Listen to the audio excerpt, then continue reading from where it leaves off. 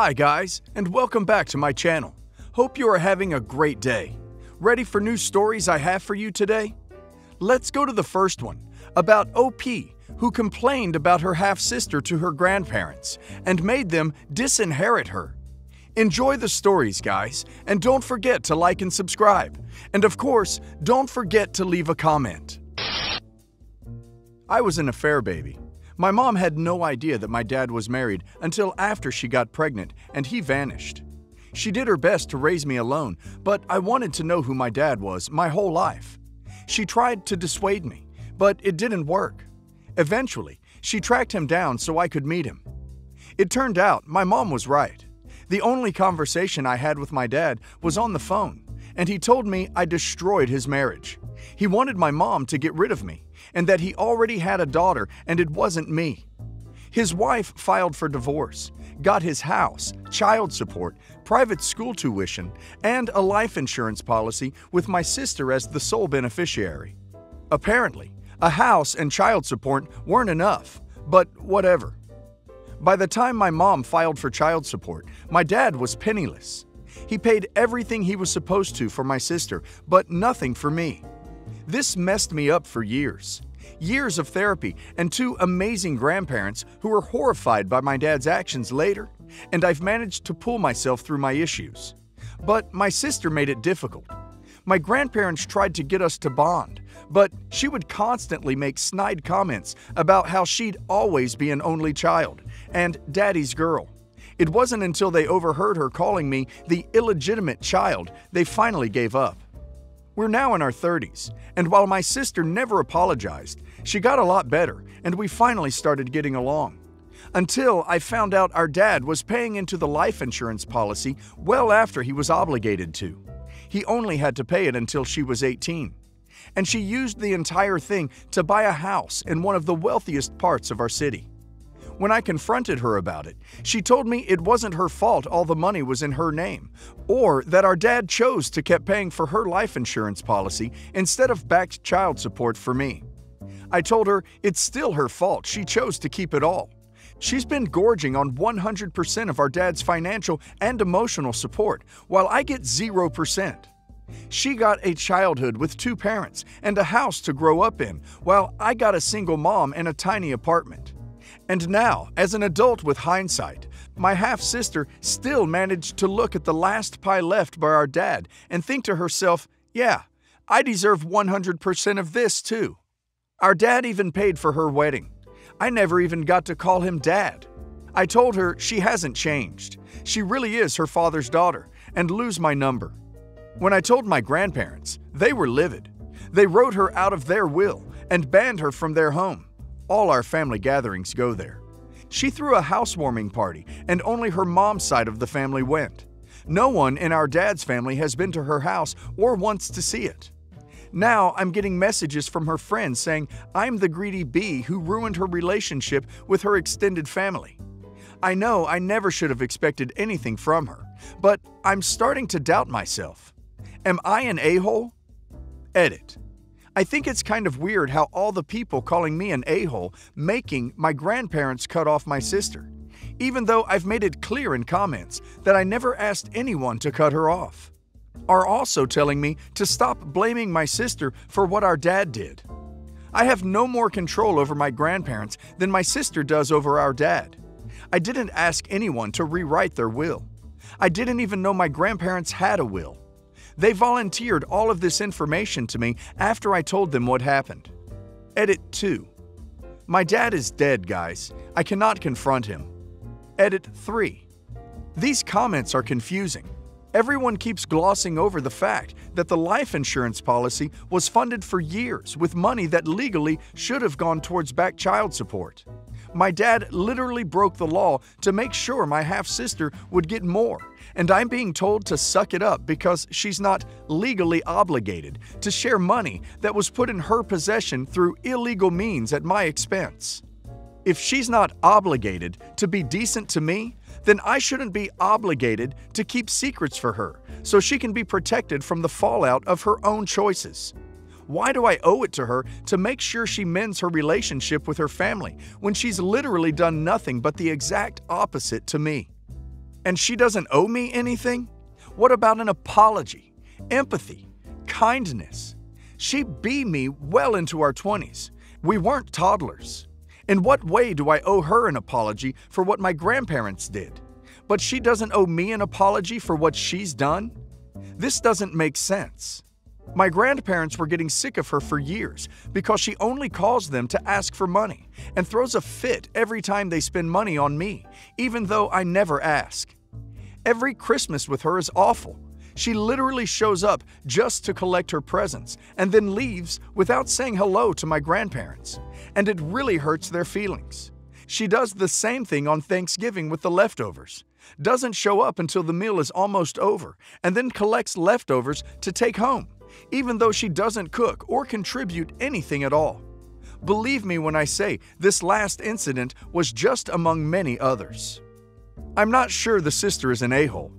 OP's dad never wanted a relationship with OP and chose to pour all his money into kid number one. She's obviously happy to take his money, but she's also affected by the divorce, and it's obvious by some of her comments. OP can't really expect her to deny OP's dad's money. I do think the grandparents are right though, and it would make sense that they give OP the inheritance to balance it out. This is an extremely complicated case, and OP shouldn't put all this blame on the wife and half sister. They both got screwed over, and the wife didn't take more than she needed over the divorce. She got as much as she was legally entitled to, and good for her. It's OP's dad's fault that he never paid a dime towards OP, not the ex wife's. The title pretty much explains it, but I will go into a little further explanation. After my grandfather died in 2015, my grandmother sat me down and explained to me how she wanted me to have her wedding ring. To say I was extremely touched by this is an understatement, because not only is it a family heirloom, it is a symbol of their 55 year love affair. I never asked for her ring or even expected it. In fact, all I asked my grandparents to leave me were the letters my grandparents sent to each other when my grandpa was in the Navy. When my grandmother passed away last year, I received her ring, the letters, and the sewing machine she taught me to sew on. I received all these items in such a way that some of my family members didn't know I was given them. I do have some family members, my brother included, who are very entitled and would have fought me over the stuff my grandmother gave me. And being who I am, I would have given them the items to avoid conflict. Knowing this, my grandmother made sure the items got to me discreetly. In fact, the only people who knew I had my grandparents' ring are my parents. Now to yesterday. My brother called me yesterday and asked if I had my grandmother's wedding ring and if he could borrow the ring to propose to his girlfriend. At first, I was very supportive of the idea, but then I began to worry because I don't think that I made it clear to him that I am just loaning him the ring and neither him nor his fiancée get to keep it. My brother is very entitled, and unless you set clear boundaries, he will take whatever he can. I also know that most women want to keep their engagement ring. They don't just want a loaner. Here is where I might be an a hole. I am a single, 34 female, with no real intentions of getting married. But if I do, that was to be my wedding ring. If I don't get married, I was going to hold on to it and pass it to the next generation of my family. Plus, it means so much to me. I cherish the ring because it is one of the few things I have to remember my grandparents by. My brother and his girlfriend will actually use the ring though, and I feel like I am being selfish for not just letting them have the ring. My parents agree that I should keep the ring because my grandmother wanted me to have it and that I should make it very clear to my brother that it is my ring and he is just borrowing it. But I still feel very guilty. So, will I be an a hole if I tell my brother he is only borrowing my grandmother's ring to propose to his girlfriend? Update 1 I love my brother, but I know who he is. That being said, I still have allowed him to take advantage of me, just to keep the peace, which is something I need to change about myself. Today, I am telling him he can't have the ring. The problem now is, he may still take it, because it is at my parents' home, and he will be there for Thanksgiving, which I won't be attending because, you know, restrictions. My parents are just as big pushovers as I am, and will let him take it. But I am going to talk to them as well, and hopefully this won't happen. When it is safe for me to do so, I will be moving it to a safety deposit box, so he will never have access to it again. Update 2 I spoke with both my parents. The ring is in their safe, and they assured me my brother will not have access to it. I also need to make it very clear that his plan is not fair not only to his girlfriend, but to me.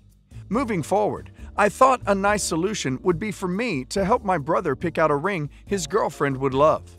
I know her taste, and actually know of a jewelry store near me that she loves. I was going to talk to him about this all today, but I am going to wait until tomorrow, after I find some nice options for him to choose from. Yes, OP will be an a-hole if she loans that ring. She would only get that ring back if she took her brother to court and sued for it back. Loaning it to her brother is setting both of them up for a lifetime of conflict. If OP loans that ring to her brother, she is being a bad steward of the family heirloom. It's not what OP's grandmother would have wanted, since she gave it to OP. OP should not let heirlooms get stolen, just because she can't say no when it's warranted and wants to please her brother. I'm 19 and my brother is 22. Two years ago, my parents got divorced. Four months later, it was revealed that the reason for the divorce was that my dad was transgender. In the matter of a minute, the man I grew up with died and replaced by a completely different person named Kate. My brother did not take the news well and cut Kate out of his life for a while. For me, I have been supportive of her transition while grieving at the same time. For Thanksgiving, Kate invited my brother and I over for dinner with her partner. It took a lot of convincing to get my brother to go. Dinner was going okay, until Kate stated it would be her greatest wish if we called her mom. My brother yelled absolutely not and stormed out. When Kate looked at me for support, I told her that I would never call her mom or see her as such. Later that night, I received a text from Kate's partner, who said Kate was extremely hurt by the rejection. I didn't know how to handle the text, so I showed it to my brother. He called Kate and yelled at her for trying to emotionally manipulate me. Since Thanksgiving night, neither of us have talked to Kate. When I recounted the story to one of my friends, she said that I was technically an a-hole for sicking my brother on Kate and never standing up for her or acknowledging her wish. After hearing that, my emotions have been more complicated. So I have decided on a second opinion. So, what am I? Edit. Some additional info. When she came out, Kate asked my brother and I to stop calling her dad immediately and just Kate. Kate's partner is a woman. My mom did initiate the divorce. Kate being trans was the biggest issue, but there were other reasons as well, such as Kate having an emotional affair with her now partner. I didn't find this out until much later, and my brother definitely doesn't know. I don't think OP is an a-hole. It's tough for transgender people today in our climate, especially when it comes to family members accepting them. But OP's father, still OP's father by birth, needs to understand OP went 17 years knowing him as dad. She was dad. She can't expect OP at the drop of a hat change all that. On top of that, her partner is trying to push that and is being manipulative by messaging OP that. They're trying to guilt trip OP. OP's brother's reaction seemed over the top, but OP was not. These things take time, and OP's father needs to understand what she's erasing, asking OP to call her mom. My husband and I have been married for five years and recently had twins. Now that life is settling down, ha, we met with our lawyers to update our wills and do all that proper legal things that people should do once having kids. Part of that was setting up legal guardianship for the twins. We asked my best friend and her husband. They agreed, and it's all sorted out. Which brings us to our current problem my husband's sister. We had dinner over the weekend with my husband's family. We mentioned that we updated our wills. My sister in law asked if that included guardianship for the twins, and I said yes my husband chimed in and said we asked Sue and Chris, my best friend and her husband, and they agreed. Well, apparently, that was the worst thing we could have said, because sister in law started crying. She sat at the table, tears streaming down her cheeks, repeatedly questioning why we didn't ask her and how we could consider sending our kids to a non family member. Isn't she good enough to raise our kids? How hurtful that was, and how someone who wasn't family couldn't love the children like family would. Honestly, asking my husband's sister was never an option for us. While I care deeply about my sister in law, and she's a nice person, she wouldn't have raised our kids in a way that we would be comfortable with. She's highly religious, like church or church related activity three or four days a week. In contrast, my husband and I are both atheists. Sister in law hasn't done any sort of post secondary education and barely graduated high school. Undiagnosed learning disability. Because of that, school and education just aren't important to her, nor is following current events. Sister in law herself has admitted that current events stress her out and she'd rather ignore them. My husband and I both have master's degrees in our fields and believe in the importance of education. Some sort of post secondary or vocational school is expected. Finally, this one may seem shallow, but sister in law is morbidly obese. She's 33 and struggles health wise knee issues, diabetes, breathing problems, untreated sleep apnea, migraines, other aches and pains. Physically, she's just not capable of potentially raising kids, in my opinion. Put it all together, and she's just not someone we'd want raising our kid, no matter how much we love her. She does have many good qualities. She exemplifies kindness. She's hardworking. She's got a wicked sense of humor. We want her in our children's lives, just not in a potential parental role. In contrast, we joke with my best friend and her husband how the four of us are essentially the same couple. Our lifestyles and parenting philosophies and religious beliefs couldn't be more similar. My husband and I both believe that they would do as good a job, if not better, in raising our kids as we would. My friend and her husband would ensure that our kids maintain a relationship with our families, which is important to us. It was a simple and logical choice. I should also note that we didn't pick my brother and his wife for guardians either. I love them, but they want to travel and they live a very nomadic life. They're a great uncle and aunt, but would be crap parents. I discovered yesterday that my sister in law had deleted me from her social media. Childish, but the ultimate FU in her world. She's also refusing to speak with us because we've shown we don't care about family and don't trust her with our kids. Is there any way we can mend this fence? It has nothing to do with not caring about family and everything to do with what's in the best interest of our children. Is there anything we can do to make this better? How sister in law reacted is not okay. It is childish and manipulative. Of course, it's OP's and her husband's choice, but I feel for sister in law because they are so mean to sister in law. And OP is not very nice in her description of her, too. Of course it hurts. She's not good enough for OP to take care of the kids she adores. Of course that hurts to the core. And the reason she's not good enough are her big insecurities. On top of that, she wants to have kids, but likely never will. She helped OP and her husband out a ton, and she's a close friend. And then they blindside her like that.